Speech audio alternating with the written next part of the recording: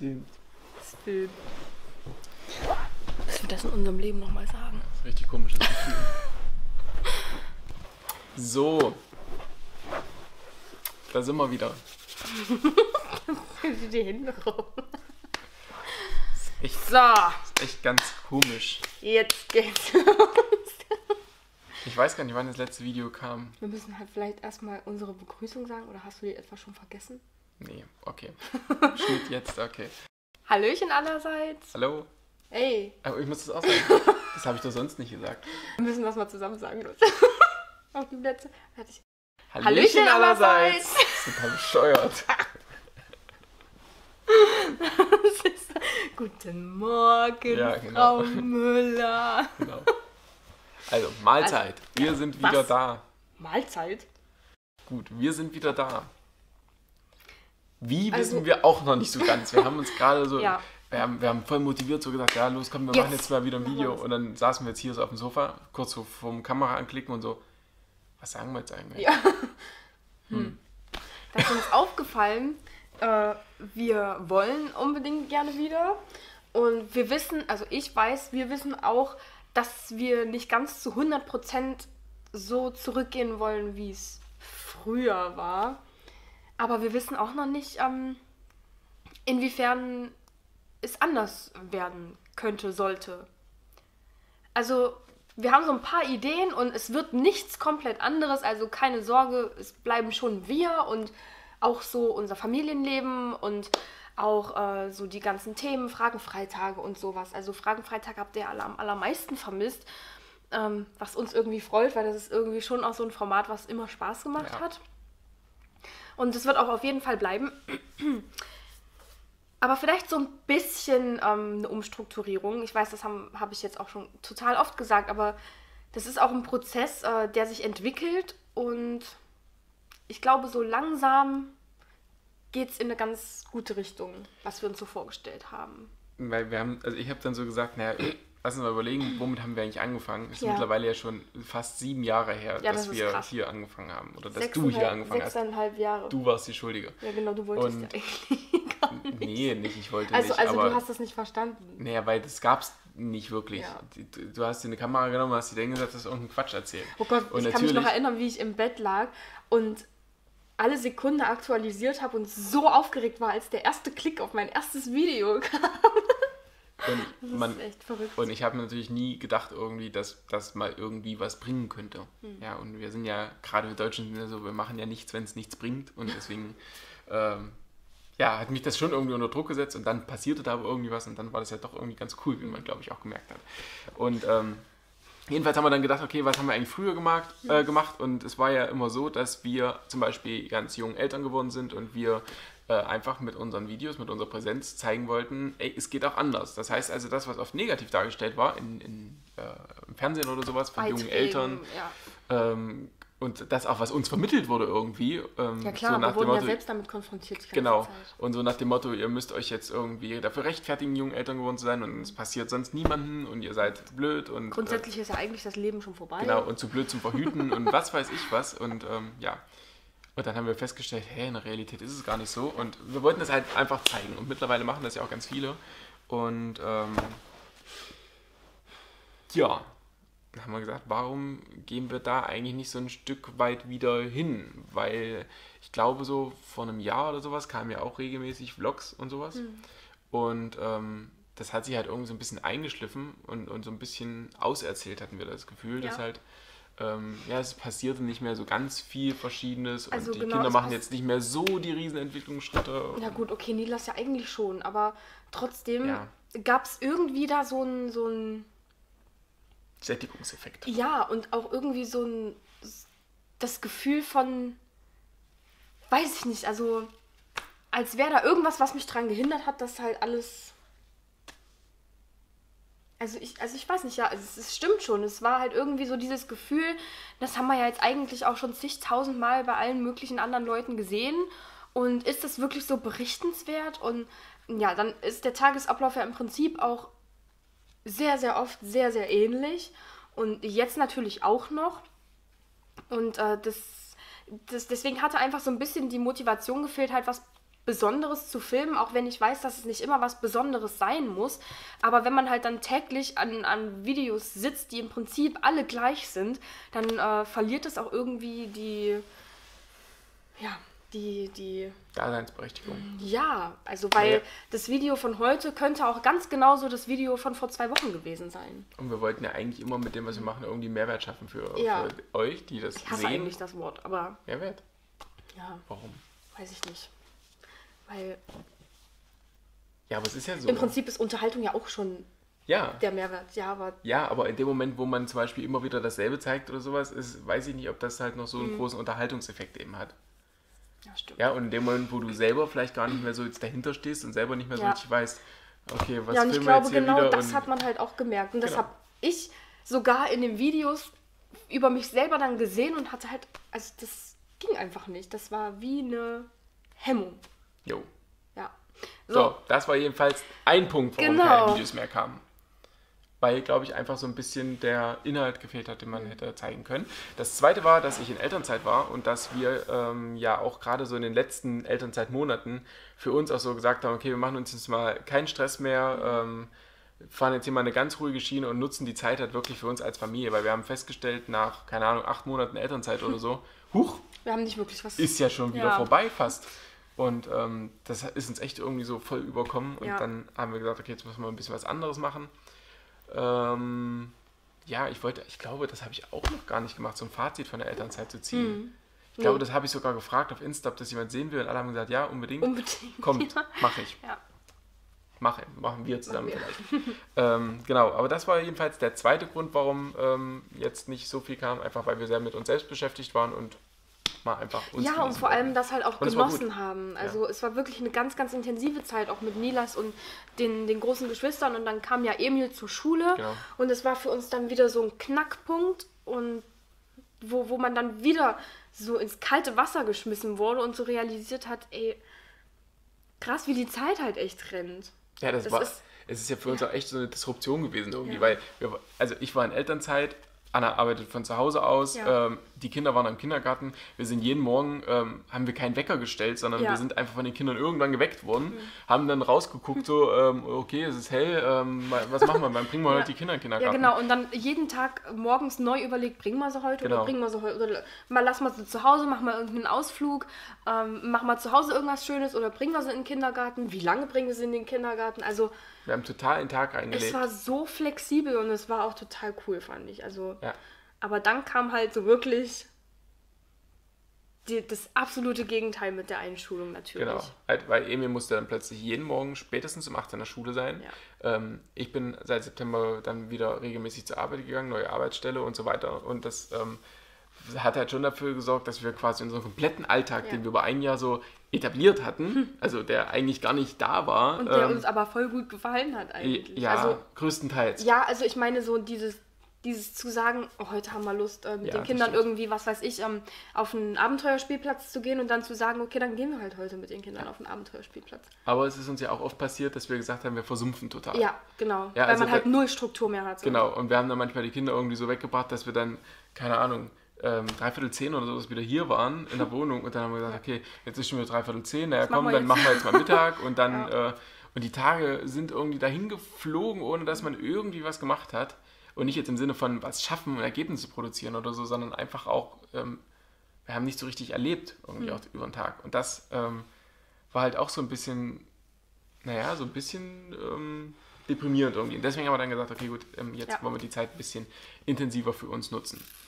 Und das war der zweite Grund, habe ich jetzt glaube ich schon fünfmal gesagt. Und der dritte Grund war dann, das haben vielleicht auch schon einige von euch mitbekommen, weil ich auf Instagram davon erzählt habe. Ähm, und es ist ja auch vielen aufgefallen, die uns immer wieder Nachrichten geschickt haben und sowas, weil ich so abgenommen habe und so, weil ich so dünn aussehe. Äh, und ja, es ist tatsächlich so, ich habe innerhalb kürzester Zeit ähm, ungefähr 13 Kilo verloren ähm, und dachte eine Zeit lang, dass ich herzkrank wäre, dass ich irgendwas hätte am Herzen. Er hatte immer mal irgendwie so ein Stechen und einen Schmerz. Und dann hat sich das irgendwie ausgebreitet. Und dann habe ich mich dazu belesen, was das sein könnte. Und dann liest man natürlich, oh, pass auf, bei den und den Symptomen, ähm, wenn es in den Arm ausstrahlt oder sowas, dann könnte das ein Herzinfarkt sein. Und ich bin irgendwie in eine Situation geraten, wo ich mich da immer weiter reingesteigert hatte und mir natürlich auch starke Sorgen gemacht habe, weil es gab ja bestimmte andere Fälle von ähm, ähm, Mama Mulle zum Beispiel, die ihren Mann ziemlich früh verloren hat, der Kinder zurück, also Frau und Kinder zurückgelassen hat. Ähm, dann von Julia und Christian beim Glückskind, wo Christian einen Herzinfarkt hatte. Ähm, und dann noch so ein paar andere Beispiele aus meinem weiteren Bekanntenkreis, wo ich quasi ganz oft irgendwie gesehen habe, puh, es kann ganz schnell vorbei sein und was ist, wenn jetzt deine Familie plötzlich ohne dich irgendwie sein müsste. Und das hat mich irgendwie in einen Gedankenstrudel gebracht, wo ich die ganze Zeit nur gedacht habe, oh Gott, was ist, was wäre, wenn. Und ich habe mich mit allen möglichen ähm, Quatsch beschäftigt, habe mich mit äh, in, in, irgendwelche Foren eingelesen, habe mir die, die krassen Herzkrankheiten irgendwie, ähm, habe geguckt, was da so dahinter steckt und sowas und habe das da auf mich übertragen. Und ich bin schon immer so, so ein leichter Hypochonder. Ja, also wenn irgendwo bei mir was wehtut, dann überlege ich halt gleich, oh, was ist das jetzt? Wie jetzt dein Blinddarm raus oder ähm, hast du jetzt, ähm, weiß ich nicht.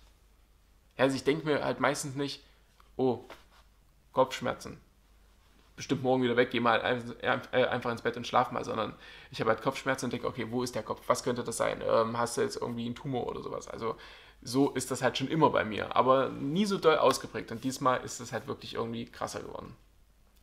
Und ähm, nicht nur in dieser Hinsicht, sondern eben auch in allen anderen Sachen. Ähm, also ich weiß, dass ich dann zum Beispiel, wir haben uns unterhalten, ja, wie, wie machen wir das jetzt eigentlich so verhütungsmäßig in nächster Zeit, ja, nachdem Nilas da war. Und ich kann mich erinnern, dass ich halt gesagt habe, ja, also ich hätte auch kein Problem damit, mich sterilisieren zu lassen, weil ich will eh kein Kind mehr haben, weil ich kann in diese Welt kein, kein weiteres Kind mehr setzen. Und oh Gott, was tun wir eigentlich unseren Kindern an damit, dass sie in die Welt kommen und sowas, weil ich halt nur irgendwie noch Drama und Weltuntergangsszenarien und ähm, ganz schlechte Sachen in mich reingelassen habe oder sowas und habe mich da total drin versteift.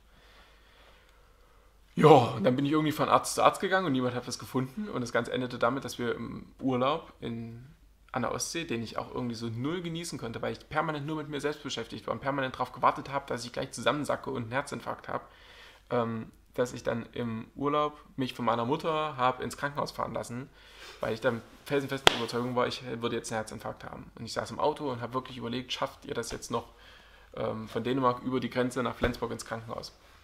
Und dann war dort ein Arzt, der mich ganz ruhig und akribisch und genau untersucht hat. Ja, aber du sagst das so harmlos, das war halt echt Drama ja, in dem Moment war es Drama. Aber wenn man das jetzt mal rein objektiv betrachten würde. Ja, aber du hattest Schmerzen, dir ging es richtig schlecht ja. und du hattest einen Blutdruck und Puls von was? 180 zu irgendwas. Also nicht nur, also das war tatsächlich so. Nicht nur, dass du dachtest, du hättest vielleicht hohen Blutdruck. Nein, das, das sind ja psychosomatische Erkrankungen, ja. die machen ja tatsächlich Dinge. Also die sorgen dafür, ja, nein, dass das dein Puls steigt so, und so weiter. Als hättest du das alles dir, als wäre das gar nicht so gewesen, aber es war ja so. Ja, es war so, aber es ist halt selbst produziert. Ja, aber trotzdem. Ja. Und ähm, ich stand dann halt da beim Arzt und er hat Blutdruck gemessen und hat mich abgehorcht. Er hat gesagt, boah, das, das hämmert ja wie Sau und sowas. Und dann hat er gesagt, äh, da müssen wir jetzt mal ein EKG schreiben. Und in dem Moment, wo ich dort lag, wo das EKG geschrieben wurde, war das alles weg. Ja, es war wirklich wie weggeblasen. Dann guckt er mich so an und sagt, ist jetzt besser? Ich sage, ja, irgendwie ist besser. Dann hat er nochmal Blutdruck gemessen und es hatte sich alles normalisiert. Und dann hat er angefangen mit mir zu reden und so hat mich gefragt, wie ich denn darauf komme, dass ich irgendwas im Herzen haben könnte. Und ich habe ihm die Symptome geschildert und, äh, und er hat gesagt, ja, aber du bist eigentlich viel zu jung, um was im Herzen zu haben. Und dann habe ich erzählt, halt von dem, was ich eben auch schon erzählt habe, von Tim und Christian und sowas. Und dann hat er gesagt, hm. Und dann habe ich erzählt vom Autounfall, den wir hatten im April, wo ähm, ja, uns nichts passiert ist, aber wo eine Menge hätte passieren können und ähm, Auto von der Schwiegermutter kaputt gefahren und äh, keine Ahnung was. Und er sagte dann, ja, hat sich ein bisschen was angestaut. Ja? Könnte das vielleicht sein, dass da in deinem Kopf vielleicht was arbeitet und das irgendwie ähm, raus muss und dein Körper zeigt dir das jetzt vielleicht irgendwie. Und er hat halt gesagt, du brauchst keinen, keinen Kardiologen oder keine Ahnung was, du bist gesund, sondern du brauchst einen mal irgendwie, ja, jemanden zum Sprechen, musst mal ein bisschen über das reden, was dir so durch den Kopf geht. Und dann hat er mich gefragt, ähm, mit wem bist du denn hier? Ähm, bist du allein hergefahren oder so? Ich sagte, nee, meine Mutter. Und dann hat er gesagt, ja, dann hol mal deine Mutter. Und dann kam dann meine Mutter als äh, meine Erziehungsberechtigte quasi mit. Ich stand da wie so ein kleines Kind, kam mir natürlich auch doof vor, weil meine Mutter hat mich ins Krankenhaus gefahren. Ich lag im Auto und ähm, dachte, ich sterbe gleich. Mir ging es auch richtig schlecht. Und ähm, dann war ich da irgendwie eine Stunde im Behandlungszimmer. Stand ich irgendwie eine Stunde im Behandlungszimmer, komme wieder raus und gucke um die Ecke und sage, Mama, du sollst mal kurz zum Arzt kommen und lache so, wie ich jetzt lache. Und natürlich ist das auch für sie irgendwie ganz komisch. Und ja, dann hat er halt äh, gesagt, der junge Mann braucht mal einfach ein bisschen Unterstützung und sowas. Und Ja, damit habe ich mich dann erstmal abgefunden und dachte, okay, gut, das klingt ja alles soweit, oder ist ja eigentlich ganz gut. Und er hat mir versichert, dass ich in den nächsten paar Tagen nicht am Herzinfarkt sterben würde. Und dann war das auch erstmal wieder besser. Aber die Symptome gingen halt nicht weg. Und ich habe mich permanent trotzdem immer noch irgendwie mit negativen Sachen beschäftigt. Das heißt, ich erinnere mich daran, in Dänemark, da waren wir irgendwo mitten in der Pampa und ähm, du hast aber trotzdem in Dänemark irgendwie alle paar Kilometer, da gibt es irgendwie wirklich so ein, so ein, Netz, wo das abgedeckt ist, es gibt alle paar Kilometer so einen Defibrillator, der überall hängt in der Öffentlichkeit. Und ich ertappe mich oder ich habe mich immer wieder dabei ertappt, wie ich mit totaler Panik zum Beispiel zum Strand gegangen bin, weil ich dachte, was ist, wenn du jetzt hier am Strand einen Herzinfarkt kriegst? Ähm, die Frauen, die, also meine Mutter, meine Oma, Anna und sowas, die wissen doch gar nicht, wie die Adresse hier ist, wenn die jetzt auf Dänisch irgendwie einen Rettungswagen rufen sollen. Das funktioniert doch alles nicht. Und mein Kopf hat die ganze Zeit Bilder produziert, wie ich dann da irgendwie am Strand vor meiner Familie sterben würde. So, und dann habe ich gesehen, da hängt so ein Defibrillator und in dem Moment war das besser. Weil ich dachte so, okay, gut, hast ein bisschen Sicherheit. Weil wenn du jetzt hier liegen bleibst, können die wenigstens den Defibrillator machen, da können sie auch nichts falsch machen, weil der macht das ja alles alleine. Das ist total bescheuert, total blöd. Und dann habe ich durch Zufall, wurde mir bei Facebook, als ich irgendwann nachts mal wieder da saß, nicht schlafen konnte und überall angeguckt habe, hat mir Facebook so einen Artikel vorgeschlagen von jemandem, der ähm, unter Panikattacken litt und der das dann auch so beschrieben hat. Und der hatte genau sowas wie ich. Und dort ging es dann quasi genau in die Richtung, die ich dann auch eingeschlagen habe. Nämlich mehr und mehr anzuerkennen, dass es wahrscheinlich tatsächlich psychosomatisch bedingt ist. Es gab dann noch ein paar andere medizinische Untersuchungen, bei denen überall nichts rauskam. Ich sagen, du hast ja eigentlich alles gemacht. Ja, es wurde wirklich so gut wie alles untersucht, was man irgendwie machen konnte. Es hat mich auch jeder tatsächlich sehr ernst genommen. Mhm. Und eher sogar ein bisschen zu ernst, weil ich war dann irgendwann tatsächlich auch bei meiner Internistin und habe gesagt, ähm, was halten Sie davon, wenn ich mal irgendwie eher in die äh, psychologische Richtung gehe? Und die hat gesagt, nee, vorher möchte ich wirklich alles abklären, damit es auch nichts Körperliches ist. Von daher wurde ich an vielen Stellen wirklich, wirklich ernst genommen. Das Ganze hat aber wirklich dazu geführt, dass ich auch äh, beispielsweise mich kaum mehr wirklich wegbewegt habe. Also ich habe wenig mit den Kindern unternommen, aus Angst, es könnte irgendwas passieren und dann sind die Kinder irgendwo alleine und ich klappe da irgendwie ab. Äh, ich habe keinen Sport mehr gemacht, weil ich die ganze Zeit Angst hatte, irgendwie damit mein Herz zu überlasten oder sowas. Ich musste erst schwarz auf weiß haben, dass mit meinem Herz wirklich nichts ist, damit ich auch mit Sport zutrauen kann. Das Problem ist, je weniger man macht, desto weniger ist natürlich auch das Herz auf Bewegung und sowas ausgelegt, desto weniger ist man trainiert und desto schneller bringt dann sowas natürlich auch aus der Puste. Und wenn ich dann wieder versuche darauf zu achten, hör, bringt mich das jetzt irgendwie aus der Puste, wenn ich jetzt eine Einkaufskiste hochtrage oder sowas? Ja, na klar bringt es mich aus der Puste, weil ich halt immer weniger im Alltag gemacht habe und immer weniger Leistung bringen konnte. Also es war so ein Teufelskreis, in dem ich drin war. Und ähm, nachdem ich mich dann nach und nach so damit befasst habe, war ich dann auch bei einer Therapeutin mal, ähm, die einen zugegebenermaßen ähm, sehr ähm, alternativen Ansatz hatte.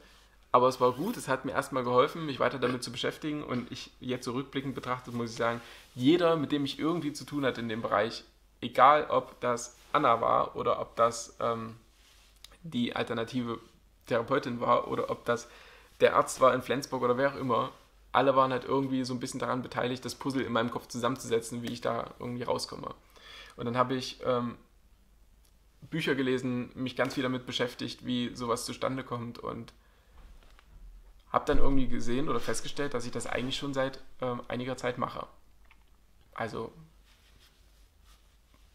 ihr müsst euch das so vorstellen, je mehr negative Sachen wir in unseren Kopf lassen, desto mehr ähm, entstehen negative ähm, Verbindungen im Gehirn. Und alles, was dann auf uns einströmt, verknüpfen wir automatisch mit den negativen Verbindungen. Ich habe das vorhin schon mal Anna so erklärt, ähm, wenn jetzt Juna zu mir kam und sagt, boah Papa, hier am Strand, da ist es so schön, ähm, ich liebe das total hier zu sein. Juna ist ja so vom, vom mhm. Typ her, die sagt sowas. Und ähm, dann saß ich halt mit meiner kleinen Tochter am Strand, das ist die schönste Situation, die man sich vorstellen kann als Papa. Und ähm, gleichzeitig sitze ich aber da und sage, ja Juna, da hast du recht. Aber innerlich denke ich mir, hm, in 10 oder 15 Jahren ist ja alles überflutet, weil Klimawandel, weil steigender Meeresspiegel, weil keine Ahnung was. Oder ich denke mir, bis dahin haben wir uns sowieso alle die Ohren weggebombt oder was weiß ich. Also egal wie schön irgendetwas ist im Leben, ich habe das immer mit was ganz Negativem verknüpft. Ja, wenn es jetzt zum Beispiel darum ging, ähm, wie verhüten wir in nächster Zeit oder so, ähm, ja, da spricht man ja eigentlich über schöne Sachen, also über Sex, über vielleicht nochmal Nachwuchs oder sowas, also eigentlich schöne Dinge, wo ich dann gleich gedacht habe, nee, eigentlich können wir das nicht machen, wir können eigentlich nicht miteinander schlafen, weil dann könnte ja ein Kind dabei rauskommen und oh mein Gott, was tue ich da mit Kindern an? Und das können wir doch nicht machen. Und ja, also mir hat quasi ganz oft so einfach Hoffnung gefehlt und so. Und ähm, die, ein Lösungsansatz ist dabei eben nicht zu suchen, okay, wo kommt jetzt diese Störung irgendwo her, sondern eher positiv nach vorne gerichtet zu gucken und zu sagen, wie schaffe ich mir jetzt wieder positive Strukturen im Gehirn, dass ich tatsächlich das, was Gutes ist im Leben und das, was man wirklich als schön und hoffnungsvoll wahrnehmen kann, tatsächlich auch wieder so wahrnimmt und für sich zulässt. Und ähm, ja, dann habe ich da nach und nach so dran gearbeitet und ich glaube, jetzt habe ich es geschafft. Also jedenfalls geht es mir deutlich besser. Ich, ich, ich habe ein ganz anderes Körperbewusstsein mittlerweile. Ich habe das immer noch ab und zu, dass mal irgendwas komisch zieht oder so.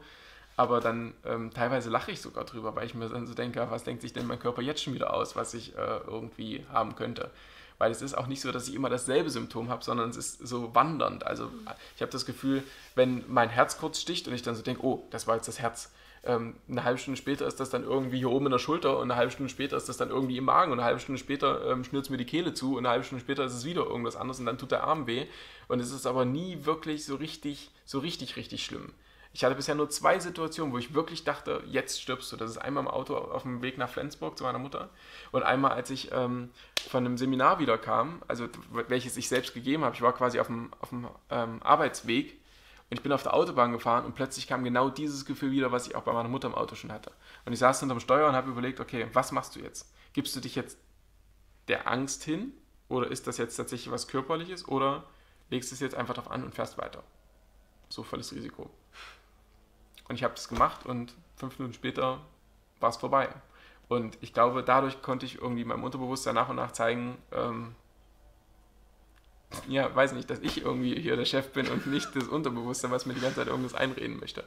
Und ähm, ganz viele Leute, die Therapeuten oder so, die haben mich immer gefragt, ja, woran könnte, wo, seit wann hast du das denn? Was könnte denn die, der Auslöser sein oder die Ursache und so? Und mir sind zwei Sachen aufgefallen, nämlich entweder der Autounfall, ähm, der ja aber eigentlich so weit abgeschlossen ist, woraus wir jetzt eigentlich keine negativen Konsequenzen in irgendeiner Weise haben. Ähm, eher sogar im Gegenteil, also eher sogar, ich bewege mich jetzt total bewusster im Alltag, ich fahre anders Auto, ich ähm, denke mir einfach ganz oft, komm, jetzt kannst du hinter dem LKW herfahren, brauchst du jetzt nicht zu überholen oder sowas, weil ich denke mir, ist doch scheißegal. Und ähm, das dritte, oder nee, Quatsch, das, das zweite, woran ich es festmachen könnte, ist halt, seitdem ich weiß, dass ich, ähm, seitdem sich abgezeichnet hat, dass ich nach der Elternzeit quasi nicht in meinen alten Job zurückkehre, sondern was Neues mache. Und ähm, das war aber für mich total komisch, weil ich wusste, das ist ein Job, der mir total liegt, den ich total gern machen möchte, der mir total Freude bereitet. Und so ist es jetzt auch. Und ähm, genauso ist es auch mit allen anderen Sachen. Also ähm, ich habe zu dem Arzt auch gesagt, ich habe doch nichts. Ich habe doch irgendwie nichts Negatives in meinem Leben. Ich habe drei tolle Kinder, ich habe eine wunderbare Beziehung, ich habe eine wunderschöne Frau. Ähm, ich habe, weiß ich nicht, also es, es läuft doch alles. Und ich habe das nie verstanden, was da nur wirklich Negatives dabei sein muss. Und ich glaube letztendlich, dass das irgendwie so ein, so ein Reflex war, der mich vor Veränderungen irgendwie schützen wollte und so. Und der diese ganzen positiven Dinge, die sie getan haben während dieser Veränderung, eben immer mit dem Negativen in meinem Kopf irgendwie verknüpft haben. Ich hoffe, das ist jetzt irgendwie umgekommen. Ich habe mich jetzt total verquatscht. Ich wollte hier gar nicht so viel erzählen. ist alles gut. Jedenfalls ist sowas scheiße. Und viele Leute haben das und ähm, so viele Leute haben auf Instagram unter dem Post dazu geschrieben, dass sie das auch haben und wie toll sie das finden, dass ich das in der Öffentlichkeit mache. Und das war aber so gar nicht meine Absicht. Also ich wollte jetzt nicht sagen, hey, äh, keiner spricht darüber und jetzt mache ich das mal oder so, sondern ähm, ich wollte es halt einfach, erstens wollte ich es mir von der Seele schreiben, zweitens wollte ich, also ganz egoistisch gedacht, zweitens wollte ich ähm, irgendwie, na gut, wollte ich das schon irgendwie sagen, dass ähm, dass ich glaube, es wird oft totgeschwiegen, weil ich habe mich mit vielen Leuten unterhalten, habe erklärt, was ich habe und die sagen, ja, sowas ähnliches hatte ich auch schon mal oder so. Und kaum einer redet aber drüber. Und das Dritte ist, dass, glaube ich, so viele Leute noch gefangen sind darin, dass sie eben denken, ja, das ist vielleicht doch irgendwie was Körperliches und dann total angstbestimmt eben immer von einem Termin zum anderen gehen. Teilweise machen das Menschen über Jahre hinweg und ähm, ich glaube, viele haben einfach Angst davor, das als ja, psychische Erkrankung irgendwie anzusehen, weil psychische Erkrankungen bei uns ganz oft so verbunden werden mit geisteskrank und total Banane und weiß ich nicht. Obwohl es ja nicht so ist, sondern das kann einen genauso erwischen wie eine Erkältung. Und das habe ich halt jetzt erfahren, weil vorher hatte ich das auch nicht. Und ich war eigentlich, glaube ich, nie wirklich so ein negativer Mensch. Eigentlich überhaupt nicht. Und während ich das aber so hatte, war ich irgendwie da total gefangen. Also ich konnte nicht mit meinen Kindern durch den Wald toben. Wenn die gesagt haben, Papa, wollen wir ein Wettrennen machen oder so, habe ich gesagt, nee, weil unterbewusst hatte ich Angst, dabei zusammenzuklappen, weil mein Herz das nicht aushält oder irgend sowas. Es grenzt dann halt, also es, es äh, beeinflusst halt das komplette Leben. Ja. Also Nicht nicht, nur nur, nicht nur dich selbst, sondern, sondern auch äh, so uns als ganze Familie. Man hatte halt einfach wirklich die ganze Zeit andere Sachen im Kopf. Ja, und bei Und dir war es das- ja auch immer so. Du hast mich dann auch mal gefragt, ähm, was ist denn jetzt? Geht's dir nicht gut oder so? Naja, weil man macht sich halt permanent Sorgen. Ja. Also man steht ständig unter Spannung. Weil du, du für dich merkst natürlich, was los ist, aber wir von außen halt nicht. Wir sehen, da ist irgendwas, aber wir wissen nicht, was.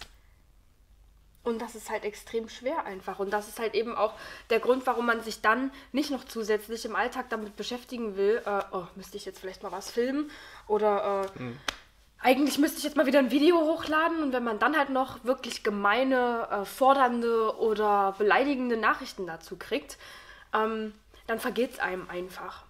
Also, jetzt mal wirklich ganz salopp gesagt, da hat man darauf keinen Bock, weil ihr habt sicherlich auch in den letzten Vlogs äh, dann gesehen und gemerkt, äh, die, die Strukturierung, die wir, Strukturierung, also die es ja früher im Prinzip eigentlich nicht gab, äh, hat sich halt trotzdem komplett verändert. Äh, weißt du, da bist du im Video mit einem Blutdruck, Dauerblutdruck-Dings oder äh, dann ist ständig einer von uns alleine oder ja, so, so hat sich das halt alles irgendwie eingeschlichen und mit verändert. Und äh, was dann halt eben letzten Endes dazu geführt hat, dass man komplett verschobene, also nicht verschobene, sondern einfach andere Prioritäten hatte. Und es gar nicht mehr so großartig zu der Gelegenheit überhaupt kam, zu sagen, hey, heute machen wir mal ein Video. Weil, und das äh, handhaben wir schon immer und auch immer noch so, wir filmen nur, wenn es, also wenn uns danach ist, wenn äh, es sozusagen allen gut geht, beziehungsweise ähm, ja, wenn, weiß ich nicht, wenn man das irgendwie vertreten kann. Und äh, deswegen filmen wir auch nie, wenn die Kinder gerade äh, einen Wutanfall haben oder so, weil dann will man bei den Kindern sein. Und genau so äh, hat sich das halt so auch eingeschlichen. Man will voll und ganz einfach für die Situation da sein, für dich da sein, für die Kinder da sein, die, mit denen du vielleicht gerade nichts machen konntest. Und äh, da hat sich das halt alles so ergeben. Beziehungsweise eben nicht ergeben. Ja. Und äh, ja, wie gesagt. Und dann kommen halt noch so solche Sachen dazu, wie diese, wie Vorwürfe und sowas. Und das Ding ist halt, Ja, sag doch mal, was für Vorwürfe damit. naja, naja, verstehe. zum Beispiel, äh, man wäre, man, wir hätten, wir würden, äh, wie hat das eine geschrieben? Ich versuche mich an den Wortlaut zu erinnern, weil das klang so fies, dass es echt unfassbar wäre, dass wir nicht mal ein kleines Statement abgeben, was äh, los ist. wir alle sozusagen im Stich lassen würden, ähm, wir die ganzen Leute nur ausgenutzt hätten und äh, sobald wir keine Lust mehr hätten, lassen wir die halt alle fallen und alle tappen im Dunkeln und sowas, wo ich mir halt denke, naja, also wir waren ja wenigstens auf Instagram aktiv und man kann uns dort auch verfolgen, dadurch, dass wir öffentliche Profile haben, wenn man keinen eigenen Account hat. Also es gibt schon Möglichkeiten oder man hätte einfach eine kurze E-Mail geschrieben, das haben auch einige von euch gemacht. Und wisst ihr, wenn da am anderen Ende der Leitung jemand sitzt, dem es entweder richtig scheiße geht oder der, der sich einfach mit richtig scheiße fühlt, dann kann man das nicht ertragen. Und äh, genau, also die Leute, die sich getraut haben, öffentliche Kommentare zu schreiben, die waren halt wirklich nett. Aber die Leute, die halt wirklich äh, sauer waren, aggressiv waren oder einfach ihren Frust mal abladen wollten, die schreiben natürlich privat und es ist für euch nicht ersichtlich. Deswegen habe ich jetzt einfach nur gesagt, kommt das eben noch on top dazu. So, müssen wir mal kurz äh, eine neue Dings starten. Ich glaube, damit haben wir jetzt irgendwie erstmal hinreichend erklärt, warum wir. Ja. Äh, Es hatte keine bösen Absichten euch gegenüber. Wirklich nicht.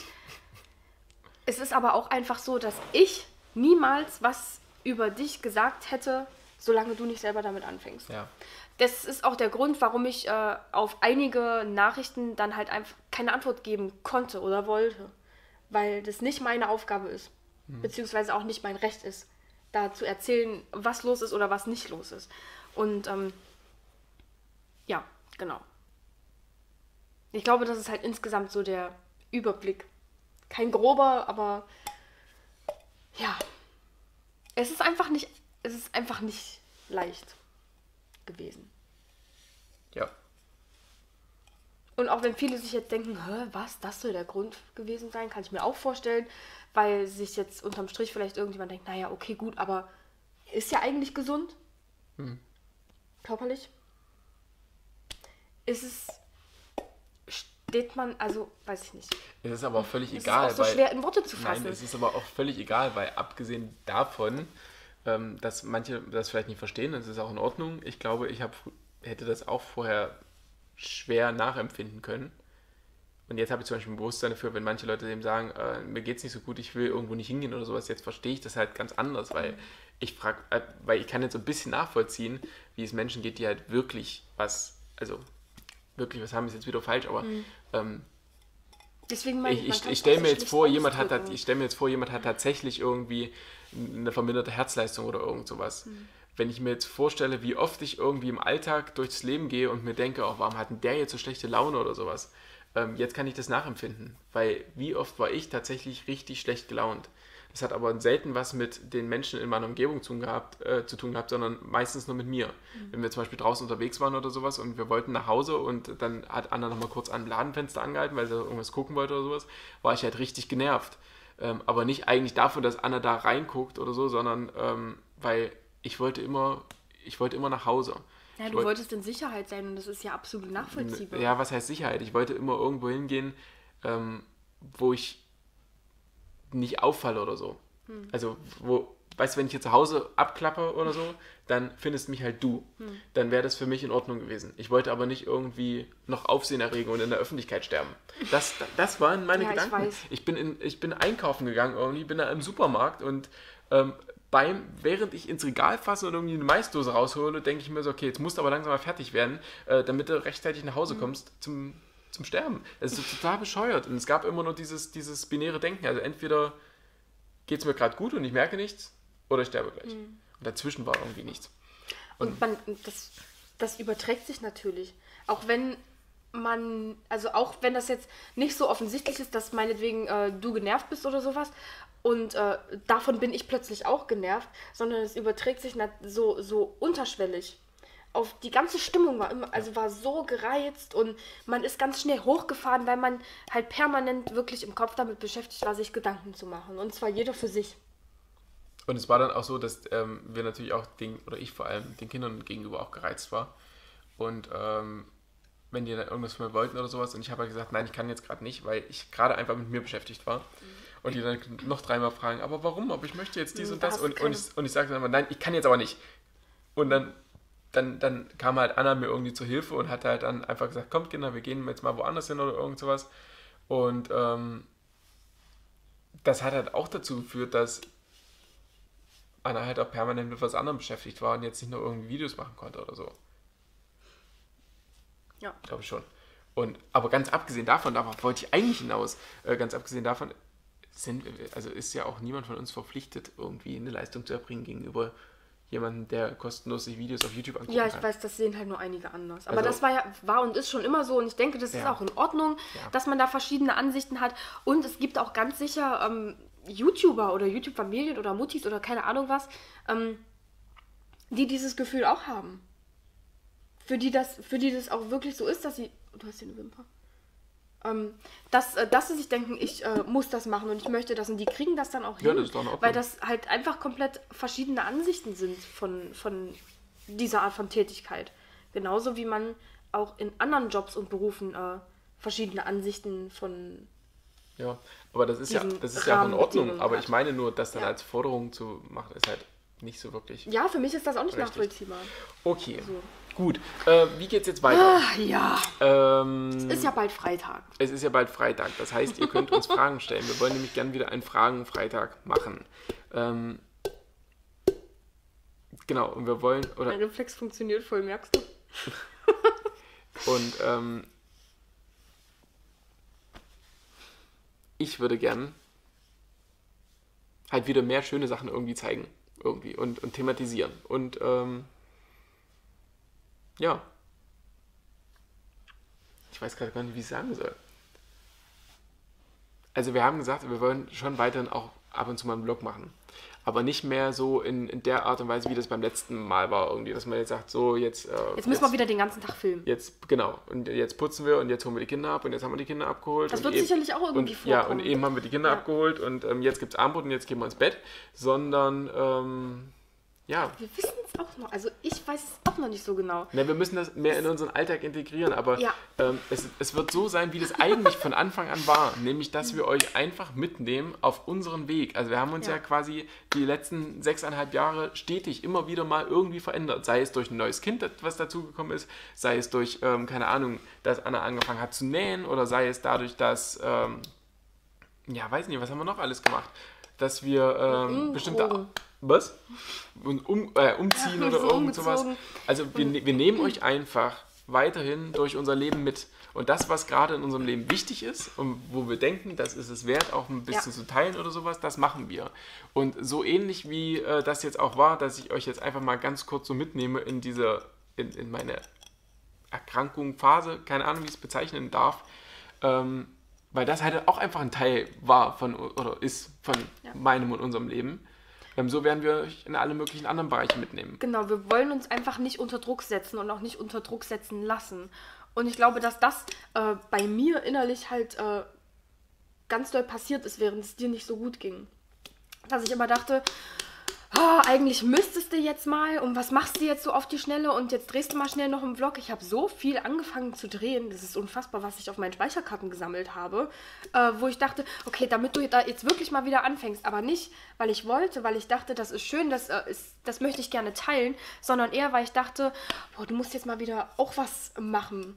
Also, weil ich bin ja diejenige, der es eigentlich gut geht. Ja. Weißt du? Und, und wenn es dir schon so schlecht ging, muss ich doch wenigstens dafür sorgen, dass hier irgendwas läuft. Und genau das hat mich aber total unter Druck gesetzt und mich total demotiviert. Also es war genau das Gegenteil von dem, was ich erreichen und machen wollte. Und ich glaube aber dadurch, dass wir jetzt diesen über diesen Knackpunkt gegangen sind, wo und wann auch immer der war, äh, ist es jetzt halt wirklich. Es fühlt sich auch jetzt schon total anders an. Und ähm, was ich auch noch sagen dass wollte, es uns halt auch einfach, also wir zwei so als Paar, dass Ja. es uns besser geht. Ja. Und ja, keine Ahnung, weiß auch nicht. ich, ich habe das Hab auch, ich das ja fast weggeschmissen. Ich- Ich, ich glaube, hab- ich muss es mal hinstellen. Sonst heißt es wieder, öh, der Becher nervt. Früher warst du es immer mit deiner Uhr. ich habe äh, ich hab das auch auf Instagram schon geschrieben. Ähm, ich glaube, man kann es sogar fast so bezeichnen, dass wir eine, eine neue Art von Partnerschaft irgendwie haben. Ja, Und ähm, das ist das, was, was, so, was so, so komisch war, was diese Diskrepanz war. Also ich habe so viele negative Sachen irgendwie gefühlt die ganze Dabei hast Zeit. du eigentlich die ganze Zeit an positiven Dingen. eigentlich ist, gesessen. eigentlich ist alles immer besser geworden. Jedenfalls, jedenfalls bei, bei mir so. Also ihr habt das ja vielleicht mitbekommen über äh, die letzten Monate. Ich habe mich relativ viel irgendwie mit so Persönlichkeitsentwicklung beschäftigt. Ich habe in meiner Elternzeit wollte ich ja solche Sachen machen wie mehr lesen, mehr Ruhe, mehr mit mir selbst beschäftigen und sowas, mehr wissen, was möchte ich eigentlich in meinem Leben so erreichen und sowas. Und das habe ich halt nach und nach gemacht und habe auch ziemlich viel davon irgendwie etablieren können in meinem Alltag. Und ähm, dadurch, dass ich aber so verkopft war irgendwie, konnte ich das gar nicht wahrnehmen. Was wir zum Beispiel auch gemacht haben, ist eben ähm, uns mit uns als Paar zu beschäftigen. Wir hatten Weil da man da total untergegangen ist. auch. genau, weil ja ist ja logisch, drei Kinder und sowas und ähm, man oder wir haben uns oft ein bisschen vergessen und wir rutschen ja ganz oft da irgendwie in unsere Gewohnheiten rein. Vielleicht kennt ihr das von euch selbst, dass ihr dann irgendwie abends jeden Abend vorm Fernseher euch wiederfindet oder so und euch gar nicht mehr so richtig mit euch selbst beschäftigt. Und das ist uns halt auch ganz krass passiert fand ich. Also wir haben viele, viele Abende irgendwie im Bett gelegen, nebeneinander. Jeder hat in seinem Handy geguckt. Ich habe einen Film geguckt, Anna hat irgendwie YouTube-Videos geguckt oder so. Und dann irgendwann abends sagt man, okay, ich Ja. bin jetzt müde, ich schlafe jetzt Nacht. Und das, obwohl man eigentlich von Anfang an gesagt hat, das wollen wir so überhaupt Ja. nicht. Und dann ist, und jetzt, jetzt wird es, weiß nicht, ob das jetzt schon was bisschen spirituell oder esoterisch oder sowas wird, aber ähm, da, wir hatten mal vor, ähm, vor, vor, vor, Jahren. vor Jahren schon mittlerweile Ja. Eine kleine Kooperation mit, ähm, Niklas Löwenstein, Buchautor, der uns, Ihr erinnert euch vielleicht an das. der uns die 36 Fragen an die Liebe äh, das war mal geschickt vor hat. Valentinstag. Genau, und wir haben damals das so gemacht, haben da so verschiedene Fragen beantwortet. Ja, da steht irgendwie drin, ähm, wo siehst du uns in fünf Jahren? Angenommen, du könntest eine Zeitreise in die Vergangenheit machen und bestimmte Situationen verändern, was würdest du ändern und so. Und abwechselnd beantworten das quasi beide Partner. Also einmal du und einmal ich. Und ähm, einfach damit man sich mal wieder so ein bisschen mit sich selbst beschäftigt und mal guckt, wo, wo stehen wir eigentlich und sowas. Und dieser Autor hat dann ein zweites Buch geschrieben, nämlich ein ähm, Partnerschaftsjournal quasi, das heißt zurück auf Wolke 7. Und da hat gefragt, ja, wollt ihr das vielleicht machen? Und wir haben gesagt, ja, klar. Und ähm, ist daraus ist eine Kooperation entstanden. Das war im April, Das glaube war ich. ja, äh, es war ja, es vorher. Ist ja, es ist ja, also es gab ja noch nichts. Also die, wir, haben, wir haben das abgesprochen und wir haben gesagt, aber vorher müssen wir das natürlich ausprobieren, Ja. bevor wir da irgendwas dazu sagen können. Und das ist jetzt kein Kooperationsvideo, aber das ist so, so krass, dass das vor Monaten, wirklich, ich glaube, es war Anfang des Jahres oder so. Das muss ja irgendwann vor dem Sommer gewesen sein. Also weit vor dem Sommer ja eigentlich. Ja, aber wir haben das schon mit, mit einem Kooperationsgedanken erstmal gemacht. Genau, also da kam genau. eine Anfrage und wir haben gesagt, ja. Ja. klar, drei Kinder. Also es beschäftigt sich oder es ist, äh, ist quasi für, Spezialisiert für Eltern, Paare mit Kindern. Genau. Genau. die sich so ein bisschen aus den Augen verloren haben Richtig. vielleicht im Alltag. Und wir haben gesagt, ja, okay, das passt ja eigentlich thematisch ganz gut und ähm, haben das erstmal gemacht. Und wir haben dann ganz fleißig da unsere, unsere Journale ausgefüllt. Jeden Tag fünf Minuten nimmt man sich da und macht es halt einfach. Und ähm, ja, haben das halt nach und nach gemacht und ähm, aber nichts weiter dabei gedacht. Ja, und jetzt so irgendwie. rückblickend. So, und das Ding stand immer auf dem Gästeklo. Ich bin der einzige Mensch, der bei uns das Gästeklo benutzt. und das, das, da stand das Buch, weil, weil dort habe ich, dort habe ich immer in, in das Journal eingeschrieben. Und dann habe ich das irgendwann aus den Augen verloren. Und jetzt dachte ich, saß ich neulich da, warum auch immer. Ich nehm, nehme, das, nehme das Buch aus dem Regal, blätter da nochmal so durch und ganz hinten ist ein Fazit. Und ich habe vergessen, das zu machen, noch auszufüllen. Und das Fazit ist quasi ähm, eine Reflexion. Also man macht das am Anfang des Buches, wo möchte man gern hin, also wie ist es und wo möchte man gern hin. Und dann am Ende muss man quasi gucken, sind wir da hingekommen. Und dann habe ich das gesehen und habe gedacht, ey scheiße, wir sind genau da hingekommen, wo, ich, wo wir eigentlich hin wollten. Das ist einfach so passiert irgendwie. Das so im Nachhinein ist das wie so ein Puzzle, bei dem so ein paar Teile noch gefehlt haben. Ja. Ne? Und diese Teile kriegt man jetzt, also die, diese Teile findet man jetzt so nach und nach meinetwegen unterm Sofa oder so, wo man halt vorher, also Genau. Und, und ich habe zum Beispiel die ganze Zeit gedacht, es gibt nichts, nichts Schönes und nichts Gutes in meinem Leben oder sowas. Und dann gucke ich da rein und denke mir, ja, na klar, ey, unsere Ja. Beziehung hat solche Fortschritte gemacht. Auch vielleicht auch sogar dadurch, ja, also dadurch, dass wir irgendwie festgestellt haben, oh, es kann auch ganz schnell ganz Mhm. Ja. anders sein oder so. Und wir haben den, den Fokus einfach ganz anders gelegt. Ich weiß nicht, wann wir das letzte Mal tatsächlich abends vorm Fernseher saßen ist lange her. also klar, wenn wir was zusammen gucken, tatsächlich. Ja, also ja. ja. wenn wir jetzt irgendwie Joko gegen Glas gucken oder sowas, dann ist das was, woran wir einfach unheimlich viel Spaß haben. Dann gucken wir das aber zusammen und machen das mehr oder weniger interaktiv. Aber ansonsten beschäftigen wir uns einfach ganz, ganz anders mit uns und nehmen uns ganz anders wahr.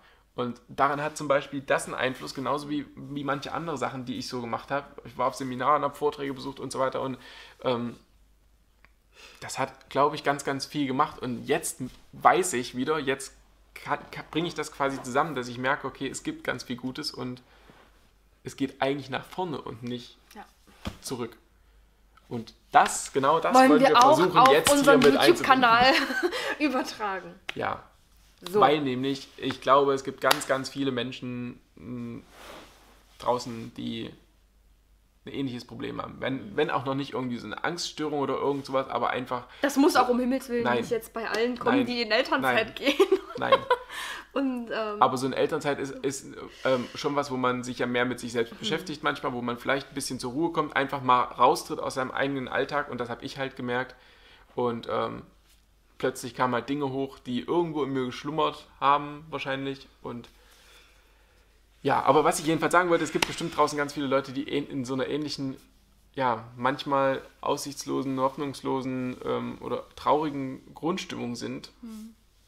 Was kein Wunder ist, wenn man sich anguckt, was halt wir so im Alltag alles erleben an Nachrichten und Gesprächen und sowas. Ja, und deswegen wollen wir halt einfach das machen, was wir von Anfang an gemacht haben, nämlich ein positiver Leuchtturm sein. Ja. Und das nicht jetzt im Sinne von alles ist schön und wir blenden alles Negative aus, Nein. sondern es Nichts gibt es unrealistisch gibt, ja, Schönes. sondern es gibt negative Sachen, ja, natürlich. Aber, das wissen wir ähm, auch. Ja. Und das verdrängen wir auch nicht. Also wir sagen ja jetzt nicht, das gibt es alles nicht, sondern wir den Fokus anders zu setzen, das ist so. Ich habe, oh, jetzt krieg ich, schon wieder, krieg ich schon wieder eine Gänsehaut. Ich habe auf hab auf dem Bücherflohmarkt ähm, ein, ein Buch rausgeholt aus so einer Kiste von, von Ecker von Hirschhausen. Und ähm, eigentlich lese ich solche Bücher nicht, weil das, was irgendwie so, so Mainstream ist, was irgendwie Spiegel Bestseller ist und sowas, da denke ich mir meistens, nee, hast eigentlich keinen Bock drauf, das zu lesen. Und ich habe es auch mitgenommen, weil es war 50 Cent oder sowas hat das gekostet und es war Glück kommt selten allein. Und ähm, da gibt es ein Zitat, ich glaube, das steht ganz am Anfang vom Buch oder ganz am Ende, weiß ich nicht, das heißt, ähm, das Leben ist nicht wie es ist, sondern wie wir sind. Und da steckt so viel drin, weil es ist ja tatsächlich so, wenn wir die ganze Zeit negativ sind und das auch irgendwie nach außen verkaufen, dann, also angenommen, wir wären das jetzt, dann würden das jetzt diese, weiß nicht, 5, 6, 7, 8, 9, 10, 11, 12.000 Menschen, je nachdem wie viele das Video sehen, würden das sehen und würden sich denken, boah, die Welt ist ja wirklich schlecht. Und je öfter wir irgendwie negative Nachrichten und sowas sehen, desto öfter oder desto mehr verankern wir das natürlich auch in uns selbst. Und deswegen ist es halt wichtig, dass wir eigentlich auch die guten oder einfach auch die guten Sachen, die es halt definitiv gibt, sichtbar machen Und hervorheben. und hervorheben und das wieder zeigen. Und genauso wie wir das früher gemacht haben als ganz junge, frische Eltern, so wollen wir das halt auch jetzt machen. Ja. Weil nur weil man drei Kinder hat und lange zusammen ist oder sowas, muss das ja nicht heißen, dass man sich irgendwie, weiß ich nicht, verliert oder nichts mehr zu sagen hat oder dass alles blöd wird, weil ich glaube, wir können sagen, dass es gerade viel besser wird, als Ja. es jemals war. Wir Sex haben? Du bist echt doof. So. So, Okay. das war jetzt so romantisch. Das ist jetzt das Schlusswort. Ja. Ja, krass, oder? Jetzt haben wir das Video gedreht. Genau, und stellt uns gern einfach, also gebt uns mal, also ja, schreibt einfach irgendwas unten drunter. Ihr könnt auch Ey, Fragen wir stellen müssen für den Fragen eigentlich mal, wir müssen eigentlich wieder uns ein Wort ausdenken, was die in die Kommentare schreiben, die bis zum Schluss dran geblieben sind. Ey, Bananendose. Weißt du, was? Bananendose. Das ist Die Beim von, von Fackelmann, diese, also keine Werbung, aber die, gibt es diese runden, die- also nicht die runden, sondern diese bananenförmigen Dosen. Ah, ich weiß. Wo aber nicht ja, jede so Banane reinpasst. Da, weil die nur in einem bestimmten Winkel Ja. gebogen sein darf, damit die da. Ja. Das ist so ein sinnloses Produkt. Beim letzten Mal war das nämlich Stehlampe. Und jedes Mal, wenn ich dann geguckt habe, habe ich halt das andere Wort mit Sch, das mit Sch anfängt und mit Lampe aufhört, gelesen, wenn ich das nur so überflogen habe und habe gedacht, boah, nee, nicht schon wieder solche dummen Kommentare. Dabei war es nur immer Stehlampe, weil das die Leute bis zum Ende geguckt haben. So, also diesmal ist es Bananendose. Super, setzt sich durch. Und dann könnt ihr noch schreiben, ob ihr so eine Bananendose zu Hause habt oder nicht. Weil man muss ja immer irgendeine sinnlose Frage in einem Video stellen. Ja, aber, die, die aber nein, aber die ist viel zu konkret. Du musst irgendwas fragen, was halt jeder mit Ja beantworten kann. So nach dem Motto, ähm, Habt ihr auch schon mal eine Banane probiert? ja. Oder habt ihr auch schon mal, wisst ihr, wie eine Banane aussieht oder so? Welche Farbe hat eine Banane? sagen. Wie, welche Farbe haben denn eure Bananen zu Hause so? Okay, gut, Schreibt glaub, doch mal gerne in die Kommentare, gebt uns einen Daumen hoch. Like und Hier oben könnt ihr abonniere. abonnieren. Ich glaube, es ist unten. Stimmt, es ist ja auch egal. Es, es driftet ab, wir müssen jetzt ausmachen. Also Leute, wir sehen uns dann beim nächsten Mal, wann auch immer das ist. Freitag. Wir hoffen bald. Freitag. Okay, Freitag. Ja, da muss aber erst noch der Akku ankommen, damit ich das Video hier überhaupt bearbeiten kann. Das musst du nicht bearbeiten, kannst ungeschnitten hochladen. Ja, und wie soll ich es hochladen? Na, von meinem Rechner. Cheers.